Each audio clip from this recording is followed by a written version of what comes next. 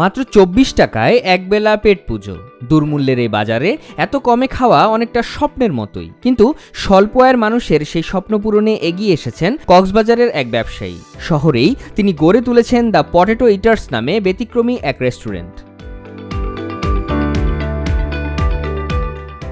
গেল আঠেরো নভেম্বর চালু হওয়া রেস্টুরেন্টটিতে গেলেই চোখে পড়বে খাবারের মূল্য তালিকা। চব্বিশ টাকায় মিলবে আলু ভর্তা, শাক ও ভাত। ডিম দিয়ে ভাত খেতে লাগবে পঁয়ত্রিশ টাকা। মুরগির মাংস দিয়ে ভাত আটচল্লিশ টাকা। মাছ ভাতের দামও একই। আলু ভর্তা বা শাকের দাম বারো টাকা। আর প্রতিটির সঙ্গে ডাল ও সবজি ফ্রি। এখানে কম দামে খাবার খেয়ে তৃপ্তির ঢেকুর তোলেন নিম্ন আয়ের মানুষ। আর অন্যান্য রেস্টুরেন্টের চেয়ে দ্য পটেটো ইটার্সে দাম প্রায় অর্ধেক হওয়ায় খুশি বাধা আয়ের সাধারণ মানুষও। ডিমার সবজি ডাল পঁয়ত্রিশ টাকা বিলাইছে অন্য জায়গা হলে তো প্রায় পঞ্চাশ টাকা ষাট টাকা মতো হয়তো প্রায় অর্ধেক। যেমন ডিম দিয়ে যদি আমি বাইরে খাই ষাট টাকা। আর এখানে খেলে তো তার অর্ধেক। আর মাছ দিয়ে যদি খাই যেমন তেলাপিয়া দিয়ে আমি এখন খেলাম তেলাপিয়া রেট কত আমি তো সঠিক জানি না এখানে। হ্যাঁ সবজিও আছে। যেটা অতিরিক্ত দেওয়া হয় আর কি।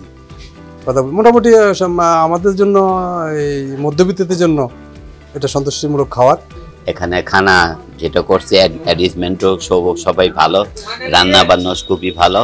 দ্রব্যমূল্যের কারণে সারা দেশের মতো কক্সবাজারের স্বল্প আয়ের মানুষেরও জীবন চালাতে হিমশিম খেতে হচ্ছে। তাদের আয়ের বড় অংশই চলে যায় খাবারের পেছনে। তাই তাদেরকে কিছুটা স্বস্তি দিতেই এই উদ্যোগ। এটা সামাজিক ব্যবসা হিসাবে পরিচালিত হবে। এখান থেকে কোনো প্রফিট নেওয়া হবে না।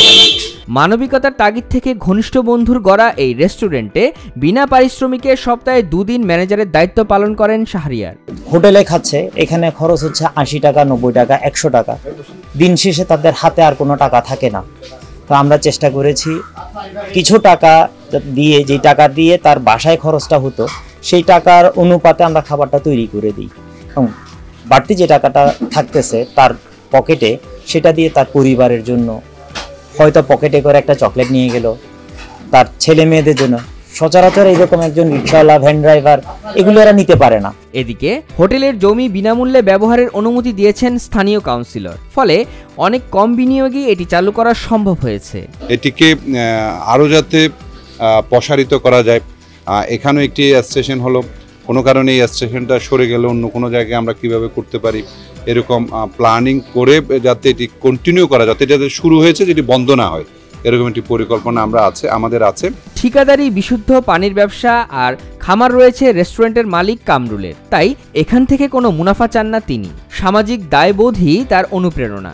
প্রথম উদ্যোগ সফল হলে কক্সবাজারের হোটেলটির আরও দশটি শাখা খোলার পরিকল্পনা রয়েছে কামরুলের।